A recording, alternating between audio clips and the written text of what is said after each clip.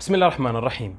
خبر وتعليق. قال النائب العام السوداني تاج السر الحبر خلال مؤتمر صحفي إنه تم ضبط كميات كبيرة من مادة نترات الأمونيوم في مداهمات بشرق النيل. وأضاف أن المتفجرات المضبوطة في الخرطوم شديدة الخطورة وبينها مواد شبيهة بتلك التي دمرت مرفأ بيروت. أمس الصباح آه، وأنا في الشغل آه، جاني صاحبي من جنسية عربية. جاري جري وخايف. يا مبارك ما شفت الحصل شنو؟ شنو اللي بيحصل في بلدكم؟ وأنا بعين له مالك؟ قال يا أخي قالوا اكتشفوا كميات كبيرة من المتفجرات والسودان داخل على عمليات تفجيرية وإرهابية وأنتم ماشيين في نفس السيناريو المصري. واو من الكلام ال... وأنا طبعا الوقت ذاك لسه ما سمعت الخبر وبسمع فيه يعني. فلما خلص الكلام قال الفاتحة عليكم أنتم موضوعكم انتهى خلاص. أنتم ماشيين في موضوع التفجيرات زي ما حصل في مصر بالضبط يعني وكذا فلما قلت له كده خلينا نشوف الخبر ونقراه. ما أكذب عليكم في البداية أنا ما تحمست للموضوع يعني ككل لأنه التفجيرات وخلايا تفجيرية وإرهابية غريبة شوية عن المجتمع السوداني يعني. آه وقبل ما أنا أمشي لموضوع التحليلات ومن وراءها ولماذا أراد هذا والكلام الكبار كبار ده أنا قلت خلينا نشوف المؤتمر الصحفي ذاته ونتابعه من البداية للنهاية. اليوم نحن في حضرة النيابة العامة وفي وجود عدد كبير من الإعلاميين. قبل ما أخش في التفاصيل الهيلمانة اللي كانت موجودة في المؤتمر. خبير متفجرات الموجود والنائب العام مولانا والناطق باسم الدعم السريع. أكون صريح معاكم يعني أنتم قايلين الهيلماني دي كلها أضافت بالنسبة لي يعني نوع من المشروعية للمؤتمر وللكلام اللي حيتقال فيه بالنسبة لي الموضوع كان وجوده زي عدمه. لشنو؟ متذكرين تصريحات كباشي زمان بعد فض الاعتصام. وفي الليلة السابقة للتنفيذ دعونا لاجتماع موسع حضره كل أعضاء المجلس العسكري الانتقالي حضره كل قادة القوات النظامية وقادة المسلحة رئيس أركان ومجموعته رئيس هيئة الاستخبارات العسكرية مدير جهاز الأمن والمخابرات الوطني ونائبه مدير عام الشرطة ونائبه قائد قوات الدعم السريع. وطلبنا أيضا من السيد رئيس القضاء والنائب العام أن يحضروا هذا الاجتماع لتقديم المشورة القانونية. زي ما سمعتوا يعني الكل كان مشارك بما فيهم القاضي والنائب العام والاستخبارات والشرطة والجيش والدعم السريع. في النهاية حصلت مجزرة وواضح إنهم لقوا استشارة قانونية ممتازة يعني. نجي لمضمون التصريحات. الناطق باسم الدعم السريع العماد جمعة آدم. آه هو كان بيتكلم عن الخبر والصياغة بتاعته. شايفه كان بيركز على موضوعين بيكررهم بكثرة.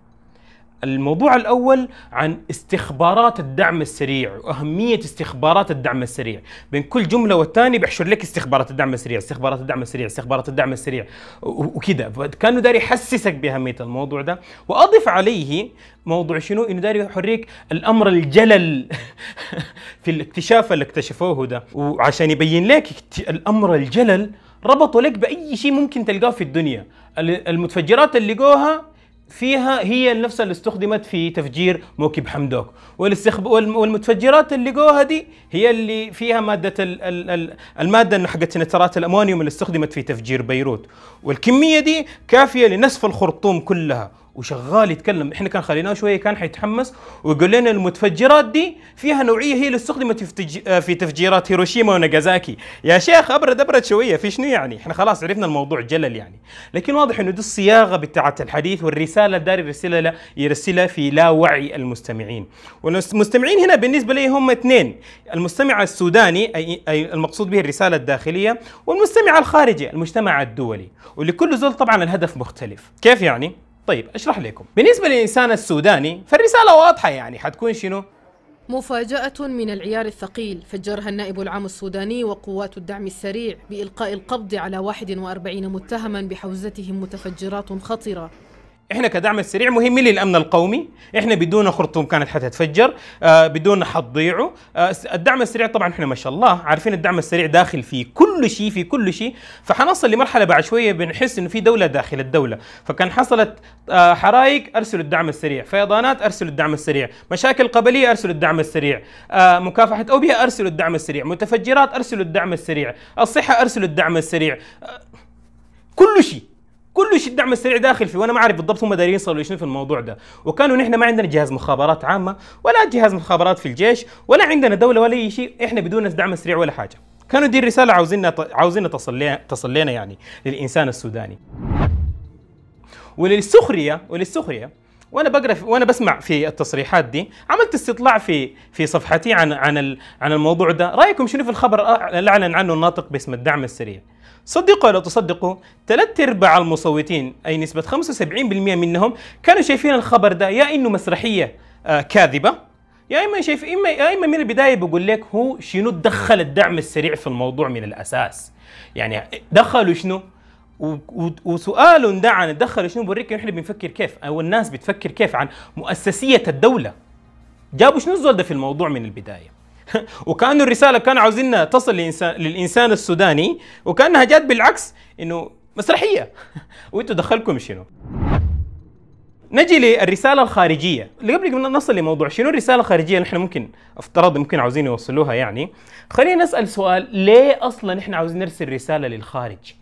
من موضوع زي متفجرات موجودة في الخرطوم حتنسي في الخرطوم يعني علاقة الخارج شنو؟ شوف يا صاحبي في دول العالم الثالث الحاكم أو اللي عاوز يبقى حاكم بغض النظر عن هو شنو عسكري ديكتاتوري جاي من المريخ وعشان يكسب مشروعية في حكم البلد أو في المساهمة أو المشاركة في حكم البلد لازم يثبت للعالم الخارجي إنه أنا مهم للأمن القومي بالنسبة لك وده بيفسر لك التصريحات بتاعة الدعم السريع إنه سبحان الله بقدرة قادر المتفجرات اللي جوها دي بيقول لك تصريحات أنا بعتبرها كارثية دبلوماسيا إنها ممكن تتسرب لدول الجوار من دول الجوار للعالم. طبعا هو ما عارف كارثية التصريح لكنه عاوز يصل لدول العالم. أنا مهم بالنسبة لكم. ولسخرية القدر ولسخرية القدر فجأة كده يجيك المسماري الناطق باسم الانقلابي حفتر في ليبيا ويقول لك الخلية الإرهابية الصفيناها في ليبيا قبل أيام عندها علاقه لربما عندها علاقة بالخلية اللي مسكوها في الخرطوم.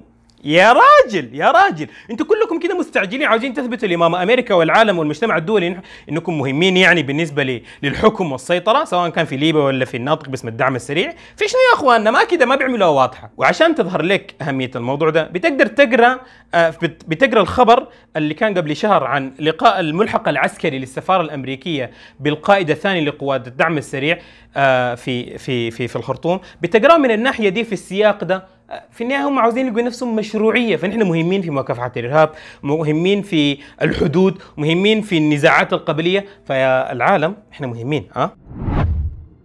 نرجع لمضمون التصريحات اللي كانت من الناطق باسم الدعم السريع. في البداية عندي نصيحة للحكومة.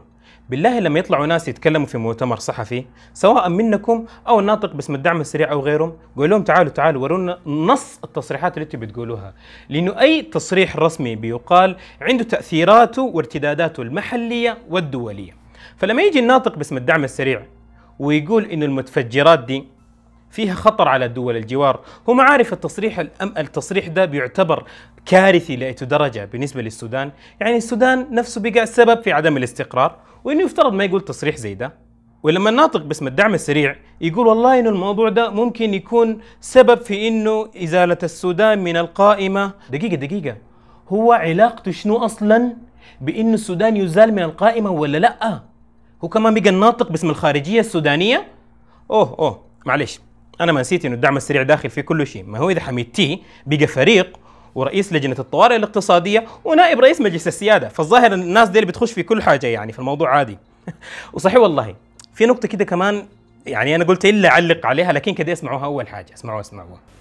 هذا يدل إنه هنالك النفسية السودانية أصبحت فيها تغيير. بقت فيها قابلية إنه الإنسان السوداني بدل ما كان أمين بقى ممكن في العقلية الخارجية تسيطر عليه. ممكن إن نقوم بتفجيرات. ما شاء الله. بقى مستشار نفسي اجتماعي للشخصية السودانية وخوفه عليها. طيب خليني هنا أنا كمان أشاركه خوفي على الشخصية السودانية والتشوه بتاعه.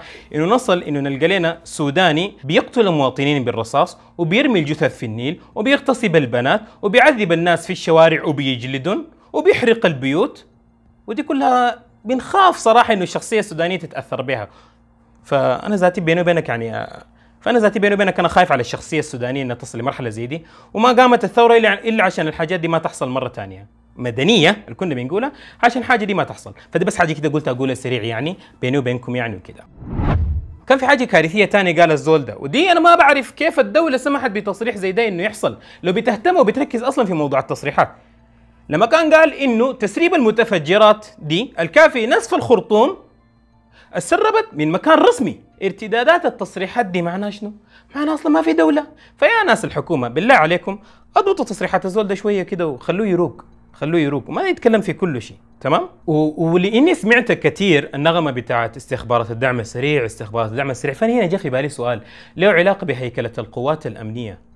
يا ربي لو قوات ناس عبد العزيز الحلو وعقار وحركات الكفاح المسلح في دارفور جو ورجعوا الخرطوم عشان السلطة واتفاقية السلام، هل برضه حيكونوا زي حميدتي قاعدين بميليشياتهم وهم على رأس الميليشيات ويقولوا إنها تابعه تابعة لقوات للتابعة للقوات العسكرية؟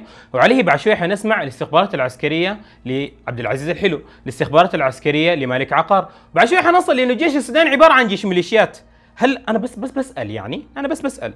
هل إحنا ماشيين في الاتجاه ده؟ آه في الختام آه كلمة بقولها للحكومة السودانية. أتمنى مستقبلا تعرفوا كيف تعرضوا الأخبار اللي بتجيكم واللي بتعتبروها بشكل أو بآخر مهددة للأمن القومي إنكم تعرضوها بشكل صحيح وإنكم تراجعوا التصريحات اللي بتقال من المسؤولين عشان ما يكون عندها أي ارتدادات داخلية ولا خارجية. واعرفوا كيف تظهروها بمؤسسية. وإذا كان استطلاع عشوائي عملته في صفحتي آه، أظهر لكم إنه 75% من الناس شايفين الموضوع ده كأنه مسرحية عبثية أو حتى أصلا من البداية شنو تدخل الدعم السريع في الموضوع. فده واضح إنه في النهاية جاب ارتداد- ارتدادات عكسية عليكم أنتوا وأنتوا عاوزين تخوفون إن الموضوع ده كان حيفجر الخرطوم كلها. فاعرفوا كيف تعرضوا الأخبار بشكل صحيح وتضمنوا إنها ماشية في سياقها الصحيح. وبالمناسبة ما شرط الدعم السريع يظهر في كل شيء. تلك عشرة كاملة. طبعا أنا ما أعرف هي عشرة ولا لا لكن اتعودت المقالات إني أختمها بالشكل ده وهاك في شعر. تحياتي مبارك جعفر.